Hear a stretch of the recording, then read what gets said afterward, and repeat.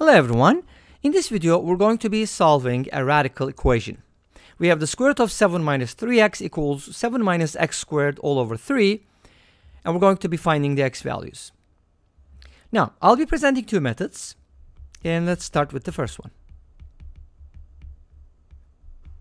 For my first method, I'm going to square both sides. So this is going to give me, the radical is going to disappear once I square it, and I'll have the square of a quotient. Now to square that, we can just square the numerator, which is 49 minus 14x squared plus x to the fourth, divided by 9. The top is basically a minus b quantity squared.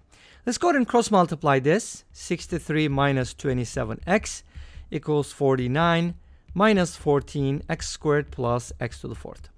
If I put everything on the same side, it's going to be a quartic equation, which means fourth degree. Let's do it.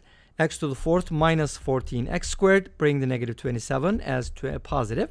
And then 49 minus 63 is just going to be negative or minus 14. So that's going to be our quartic. Unfortunately, it's not easily factorable. It is somewhat factorable, but first we're going to be looking for a candidate. What is what is a possible solution? One of the things that I've always told you, I think in different videos, is to check the sum of the coefficients. Remember Vieta's formula, if you add up the coefficients, you get a certain number. But in this particular case, if you add up the coefficients, you get a zero. Why? The coefficient of x to the fourth is 1, so it's 1 plus negative 14 plus 27 plus negative 14, and that is just 0. You could also tell from Vieta's formulas the sum is 0 because there is no x cubed, so b is 0, negative b over a is also 0. So there's, there's a lot of ways to look at it, but the sum of the coefficients equals 0 implies that x equals 1 is a solution. And that's great. It's better than guess and check, right?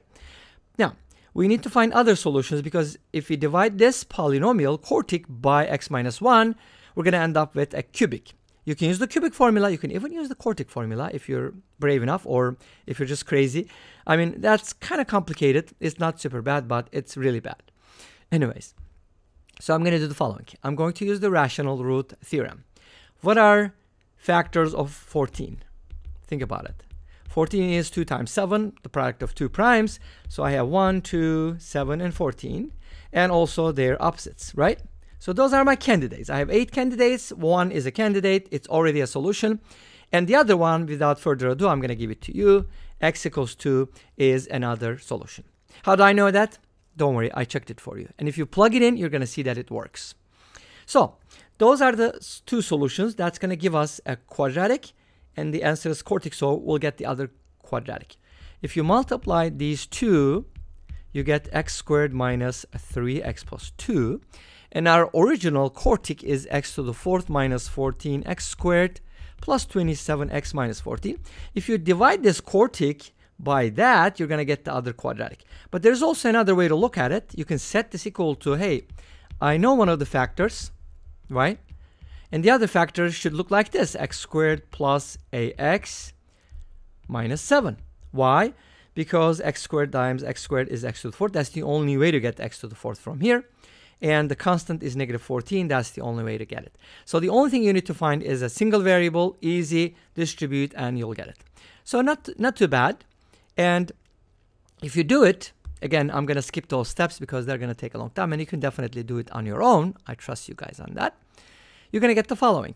Our quartic is going to be factored as x minus 1, x minus 2, and the other factor is going to be x squared plus 3x minus 7. Set it equal to 0, you got all the solutions. We already know x equals 1 and x equals 2 are solutions, but the other two are going to come from the quadratic. If you use the quadratic formula, negative b plus minus the square root of b squared minus 4ac, all that stuff, you're going to get square root of 37 and all over 2. So those are the solutions. But this is a quartic. Yes, it should have four solutions, but the original equation is not quartic. We squared both sides. Caveat, be careful. Warning, caution. Achtung. Why? Because when you square both sides, there's a chance that you are introducing extraneous solutions. So how do you avoid that? By looking at the domain of the radical.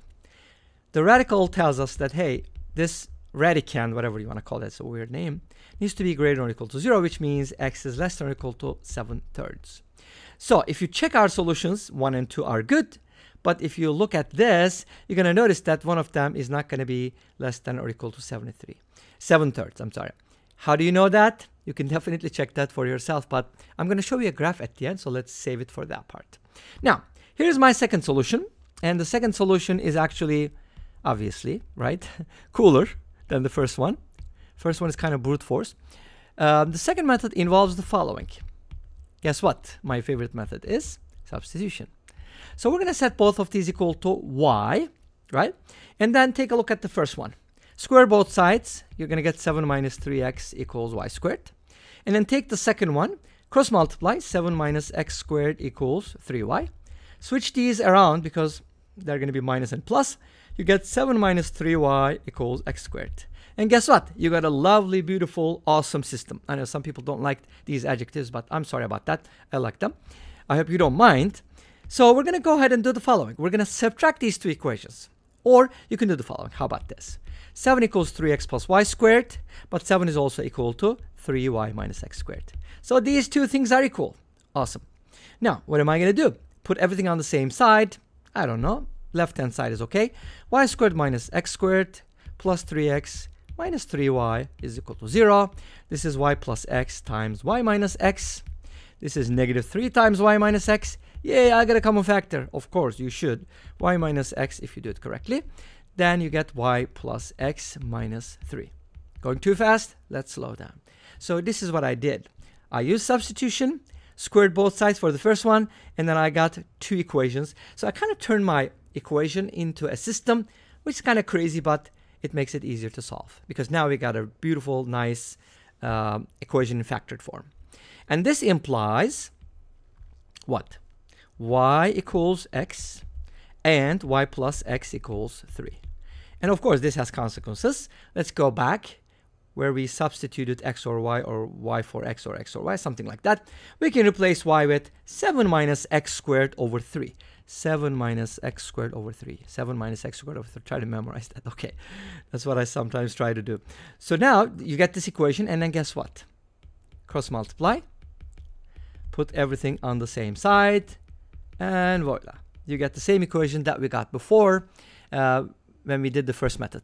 And this equation has two solutions, negative 3 plus root 37 over 2, and negative 3 minus root 37 over 2. And this one is going to give you 7 minus x squared over 3 plus x is equal to 3. Multiply everything by 3, easier than making a common denominator. Same thing, sort of. Put everything on the same side. Uh, well, let's see, x squared minus 3x plus 2 is equal to 0. Yay, this is great, of course, because we already know the solutions. Come on, pretend to be surprised. x equals 1 and x equals 2. So those are the candidates, but we have to check for extraneous solutions. So here's what I'd like to tell you. I don't know if I told you before, but this is less than zero, negative. So something that is negative, do you think that is going to be less than or equal to 7 thirds? If something is negative, obviously, that is going to be less than or equal to 7 thirds for sure, right? Let's go ahead and take a look at the graph and we're just going to wrap it up. Here you go. What's really interesting about this graph is that notice that uh, these are solutions, right? and uh, obviously 1, 2, and 2, 1 because x equals 1 and x equals 2. But guess what? These two curves intersect at three points. Isn't that interesting? I kind of find it interesting. Anyways, this brings us to the end of this video. Well, thank you for watching. I hope you enjoyed it. Please let me know. Don't forget to comment, like, and subscribe. I'll see you tomorrow with another video. Until then, be safe, take care, and bye-bye.